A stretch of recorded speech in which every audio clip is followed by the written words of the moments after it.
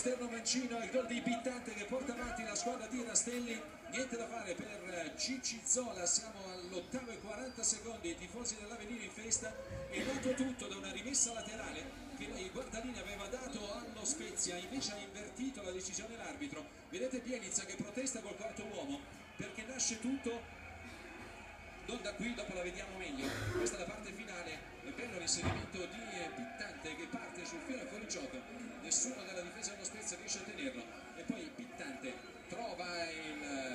Pulcino inutile tentativo di Cicci Zola occhio perché c'è l'allenatore dello Spezia Bielizza